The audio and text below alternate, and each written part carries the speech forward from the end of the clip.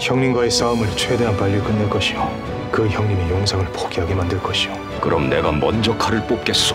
무슨 일이 있더라도 용상을 지켜내겠습니다. 전 이미 마음을 굳혔습니다. 형님께서는 어쩌시겠습니까? 박부가 난동을 부렸습니다. 왜 저 같은 사람이 이등공신입니까? 정왕군과 승부를 한번 내볼 참이네. 그래서 자네가 날 좀 도와줬으면 좋겠네. 결국엔 폭군이 될 거라고 했어. 결국엔 미치광이 될 거라고 했어. 그 말이 자꾸 귓가에 맴돕니다.